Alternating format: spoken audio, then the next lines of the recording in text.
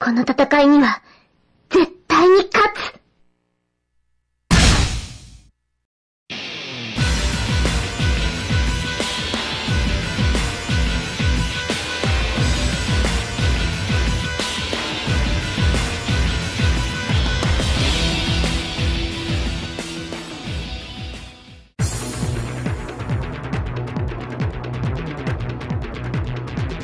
Hi, I'm Emperor Cow and I'll be guiding you through the tag tutorial.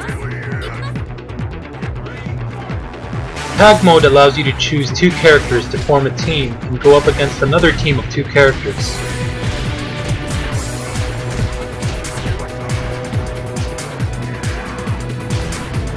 Each team can be controlled by either one or two players, and up to four players can play simultaneously. This is why it is essential to have a good understanding of your teammates' character, as well as their playstyle and strategies, in order to have an effective tag team.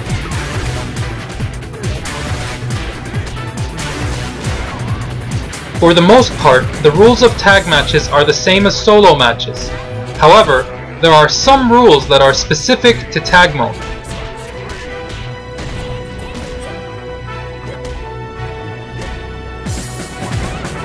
The object of tag mode is simple. Whoever defeats both opposing team members wins the round. In the event of a timeout, the team with the most members still active wins, regardless of the total health. If both teams had equal members remaining, the team with the most total health wins. When a teammate is on standby, their health slowly regenerates until they are tagged back in. This can be very important in strategizing both your offense and defense.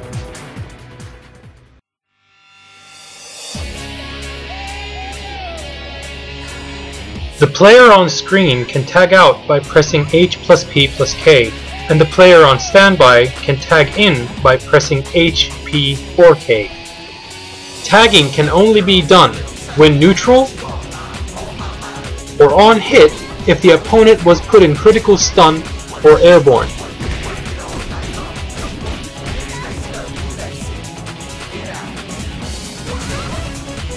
However, you cannot tag when you're in stun, being air juggled, or knocked down.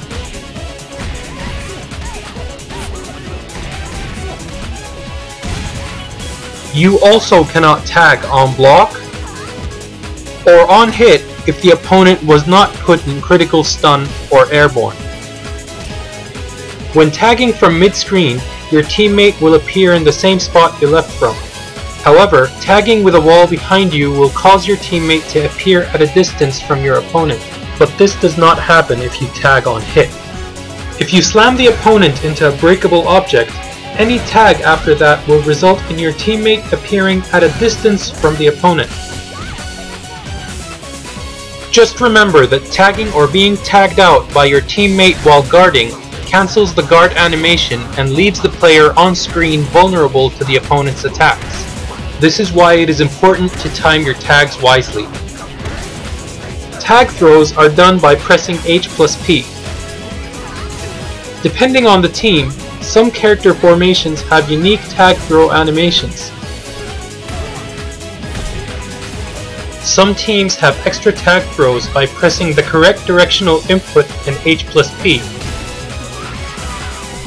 And some teams even have tag throws versus back-turned opponents. When only one member is left on a team, that character regains their original throw animations. Tag pounces are done by pressing up H plus P plus K versus an air juggled or a knockdown opponent. Tag pounces can be very useful as combo enders.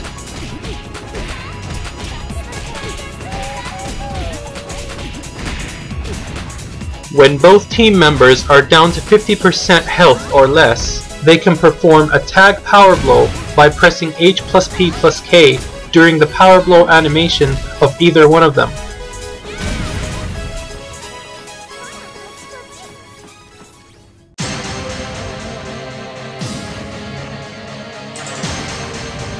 One of the unique features of tag mode is the ability to tag out on hit when the opponent is put in critical stun or airborne. This allows you to cancel your recovery frames, giving your teammate a huge frame advantage as they tag in. This means that in a situation where the opponent cannot hold for a short duration, such as with sit-down stuns, a guaranteed follow-up can be achieved through tag cancelling. With the right setup, you can even create a guaranteed situation leading to a critical burst.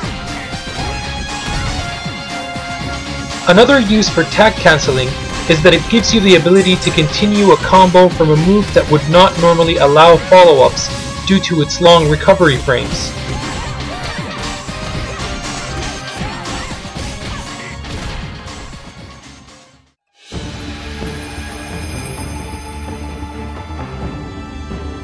There are a few things that need to be considered when performing air juggles in tag mode.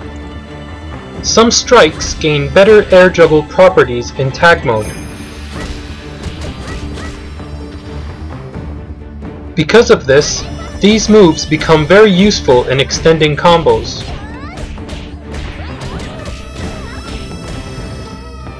Also, the effect of gravity is less in tag mode, allowing you to perform longer air juggles.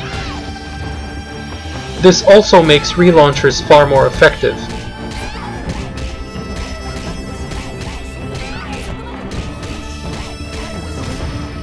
Another thing to consider is the damage scaling during tag air juggles.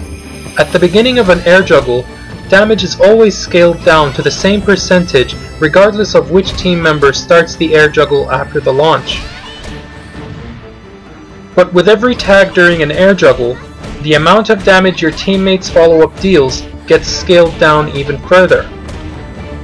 This is why it might be a good strategy to tag in your teammate right after the launcher if they can perform a better initial air juggle to maximize damage potential.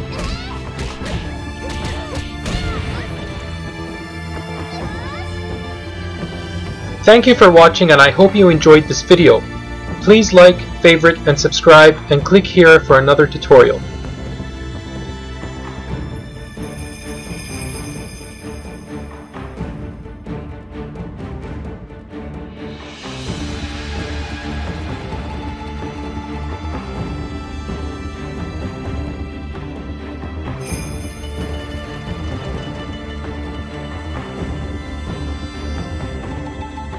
And we're done.